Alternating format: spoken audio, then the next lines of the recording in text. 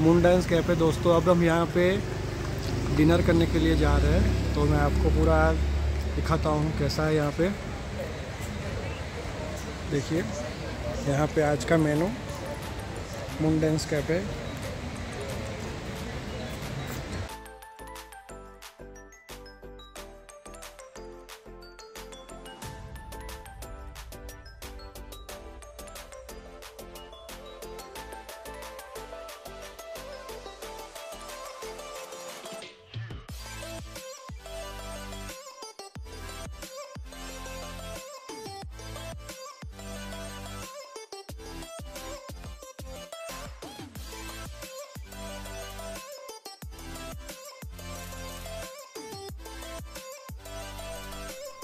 ये आप देख सकते हो, हमने सिजलर यहाँ पे मंगाया हुआ है।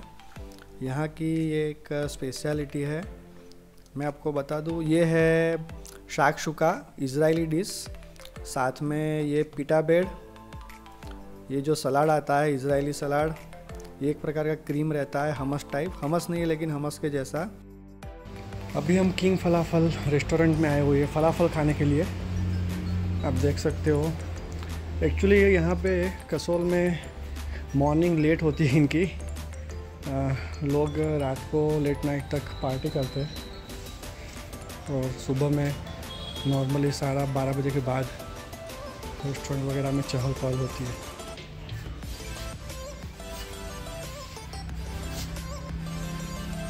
Falafel plate at King Falafel.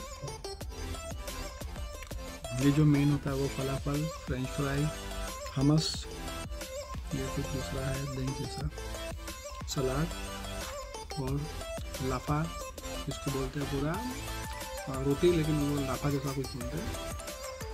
पुल के मेन रोड में ये मॉल रोड पे, ये इसराइल खाना, यहाँ पे हमने फलाफल खाया। आप ज़रूर आइए यहाँ पे, फलाफल खाने के लिए। You should try for one time at least तो जर्मन बेकरी में हम अभी अलग अलग प्रकार की केक खाने के लिए आए हुए हैं। तो देखते हैं।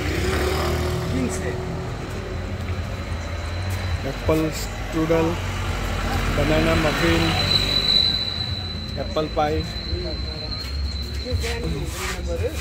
lemon cake अभी हम नमस्ते ढाबा आया हुआ है।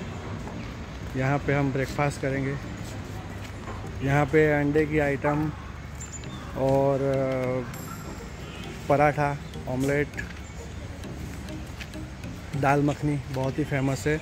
एक यहाँ पे आ, एक पराठा बहुत फ़ेमस होता है जो जो लोग एक खाते हैं वो यहाँ पे ज़रूर ट्राई कीजिए। अभी हम न्यू बोच सामी कैफ़े में आए हुए हैं। ये आंटी जी है जो हमें खाना खिलाएगी। जो अभी बिज़ी है पिटा बेड बनाने में। तो ये देख लीजिए आप। यहाँ पे आप सीजनल खाएँगे। जीवा विथ मशरूम ऑलिव मैं आपको दिखाता हूँ डिश जब आएगी तब। यहाँ पे ऐसे सीटिंग एरिया है।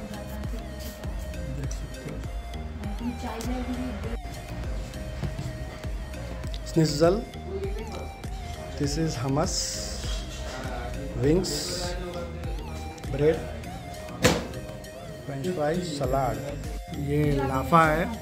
Mushroom olive, pure veg item है। भले जैसा भी दिख रहा है, लेकिन ये ज़रूर खाना चाहिए। न्यू भोज, सामी भोजनालय में आइए मॉल रोड, कसोल। और ये आंटी जी है जो यहाँ की कुक है। आप देखिए, इनसे कांटेक्ट कीजिए। Shambhu momo centre, mall road पे। यहाँ पे ज़रूर खाइए। वेज मोमो या फिर आप, जो भी आपका यानी कि वेज नॉन वेज जो भी प्रेफरेंस है। वेज मोमो यहाँ का बहुत ही फ़ेमस है। शंभू मोमो में वेज मोमो आ गया है। उसके बाजू में सुषमा फ़ूड कॉर्नर है, वहाँ पे भी ज़रूर आइए। और मैगी हो गया, कुछ भी खाइए। बहुत ही बढ़िया, इनके ओनर है। ये अभी हम पंचतारा में जा रहे हैं। उनकी रहने के लिए होटल भी है। और यहाँ पे लाइव म्यूज़िक चलता है डिनर लंच। यहाँ पे डिनर बहुत ही बढ़िया है। आप देख सकते हो। ये सुला का bottle famous Sula brand wine ये इनका रहने का होटल है। बहुत ही बढ़िया यहाँ पे। डुप्लेक्स साइज़ भी है। ये पूल टेबल है। आप देख सकते हो।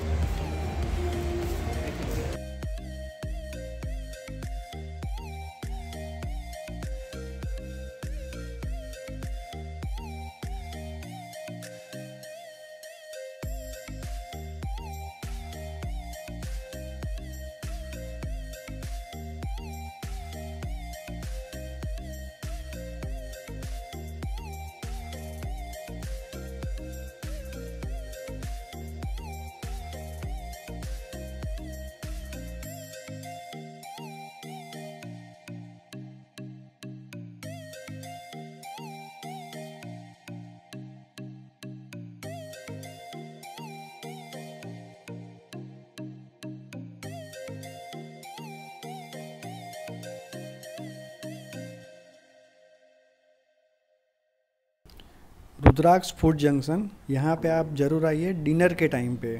यहाँ का एम्बियंस एकदम पार्टी एम्बियंस है डार्क और एकदम हैपनिंग प्लेस खाना भी यहाँ का अच्छा है इसराइली चाइनीज़ आप कुछ भी यहाँ पे ट्राई कर सकते हो। ज़रूर आइए और डिनर के टाइम पे नाइट टाइम अभी हम एवरग्रीन द एवरग्रीन कैफ़े में जा रहे हैं। यहाँ पे कैंडल लाइट डिनर और पीछे की साइड में ओपन रेस्टोरेंट है। आप देख सकते हो, सब सहलानी हो वो बैठे हुए हैं। यहाँ पे वेज प्लेटर हो गया, बाकी सब बहुत बढ़िया।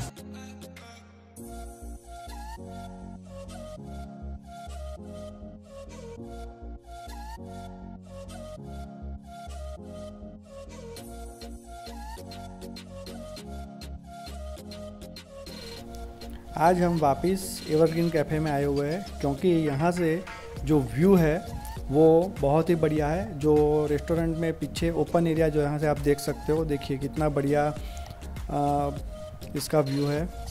आप डे टाइम में यहाँ पे ज़रूर आइए। हम साग सूखा खाने यहाँ पे आए। साग सूखा में यहाँ पे टेस्ट अच्छा लगा मुझे। सिर्फ़ एक ही इश्यू था कि पीटा बेड यहाँ पे नहीं है तो आपको रोटी के साथ खाना पड़ेगा। आ, मैं प्रीफर करूँगा अगर कसोल में आप हो तो साग सूखा मून डांस कैफ़े में खाइए विथ पीटा बेड तो पीटा बेड यहाँ का स्पेशलिटी है और यहाँ का खाना भी अच्छा है चाइनीज़ और इसराइलियन और लोकेशन यहाँ का खाने से भी बेहतर है। आप देख सकते हो, ये ओपन जो पीछे का जो सिटिंग एरिया है। देखिए कितनी बढ़िया धूप और क्या बढ़िया लोकेशन इंडोर सीटिंग भी काफ़ी बढ़िया है। खाना भी काफ़ी अच्छा था एम्बियंस के साथ।